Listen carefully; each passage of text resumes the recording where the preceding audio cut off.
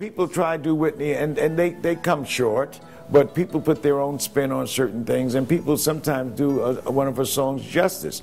But there's only one Whitney Houston. Uh, I don't care how many times people try to emulate her and try to reach her vocal skills, there's only one Whitney.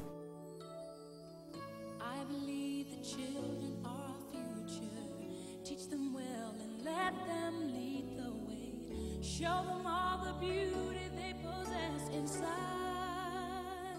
So much has happened uh, where we've lost a lot of people recently, but um, I've always admired uh, Whitney's vocals. Uh, you know, she was uh, drop dead gorgeous uh, as well. Um, a lot of the amateur night contestants, particularly the women, they all wanted to be like uh, Whitney, wanted to sound like Whitney.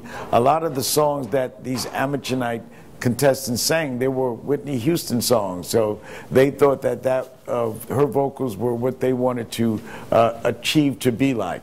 Um, she also uh, recorded uh, her video, The Greatest Love of All, here at the Apollo Theater. I happen to have been blessed to be here that day.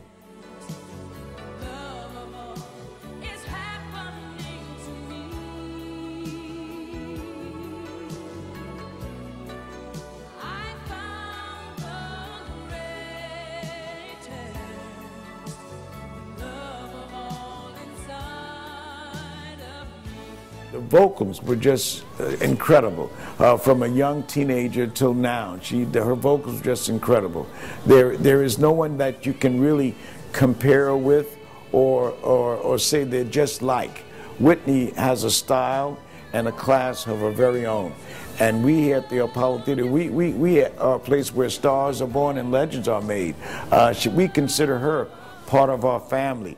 I think the world considers her one of their own. It's not just one race of people or whatever. Whitney touched everybody, and I think the world is feeling a massive loss in her passing. I think the world is a little sadder today. Uh, I think that uh, one of those stars in heaven has just been dimmed a little bit